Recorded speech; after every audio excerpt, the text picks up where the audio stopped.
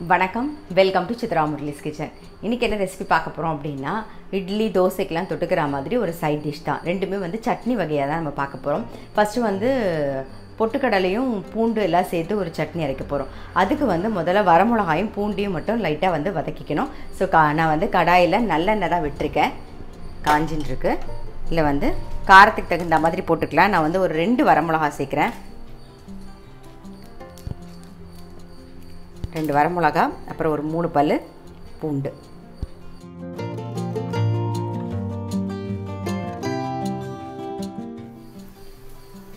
புளி வந்து ஒரு சின்ன பீஸ் சேர்த்துக்கிறேன்.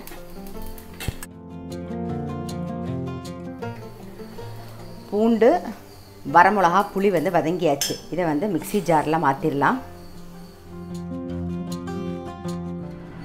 பொட்டுக்கடலை வந்து கொஞ்சமாக ஒரு ஒரு டேபிள் ஸ்பூனுக்கு பொட்டுக்கடலை தேவையான உப்பு. தேங்காய். ஒரு சின்ன கப்பு ஃபுல்லாக தேங்காய். ஸோ இதை வந்து அரைச்சி எடுத்துகிட்டு வர போகிறோம் இது முதல் சட்னிக்கு இதை அரைச்சி எடுத்துகிட்டு வர போகிறோம் ஸோ ஃபஸ்ட்டு இதை அரைச்சி எடுத்துகிட்டு வந்துடுவோம் அடுத்தது வந்து அடுத்த சட்னிக்கு நம்ம வதக்கிக்கலாம்.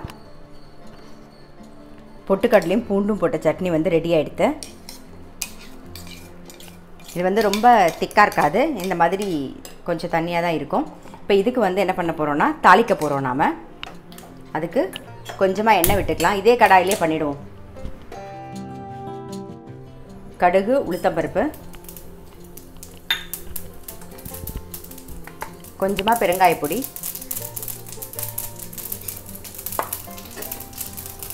கருவேப்பிலை.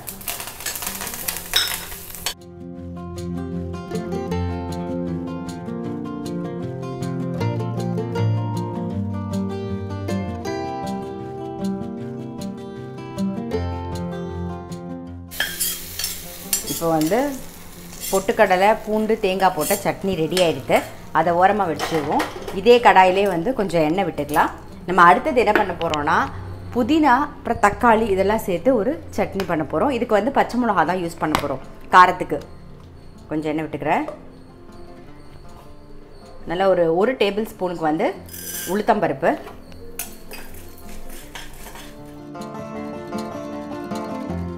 நம்ம உளுத்தம்பருப்பு வறுத்துன்னு இருக்கோம் இல்லையா? அதுலேயே நம்ம என்னென்னலாம் வறுத்துக்க வேண்டிய சாமானோ அத்தனையும் அப்படியே சேர்த்துருவோம் நாம். சின்ன வெங்காயம் ஒரு அஞ்சு சின்ன வெங்காயம். காரத்துக்கு பச்சை மிளகா. நான் வந்து ஒரு ரெண்டு பச்சை மிளகா சேர்க்குறேன்.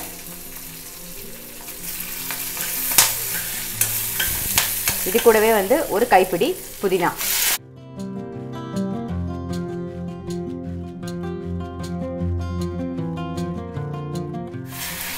ஒரே ஒரு தக்காளி. இந்த தக்காளியோட சேர்ந்து ஒரு சின்ன பீஸ் வந்து புளி சேர்த்துக்கலாம்.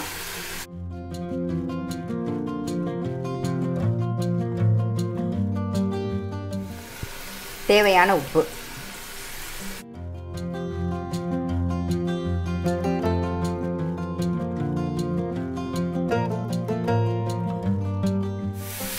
தக்காளியெல்லாம் நல்லா வதங்கிடுது. இப்போ வந்து நல்லா ஒரு குட்டி கப்பில் ஒரு கப்பு தேங்காய் சேர்த்துடலாம். அவ்வளோதான் லைட்டாக ஜஸ்ட் பரட்டிட்டு ஆஃப் பண்ணிடலாம் இப்போது ஆறுனதுக்கு அப்புறமா அரைச்சிப்போம்.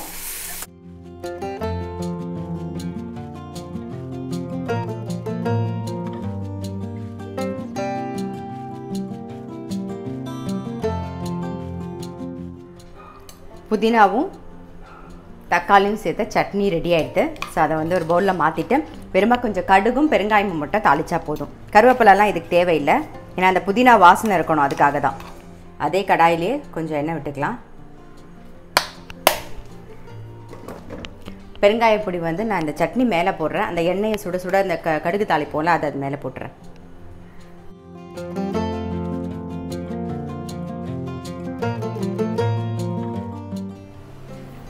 கடுகு கடுகு மட்டும் போதும்.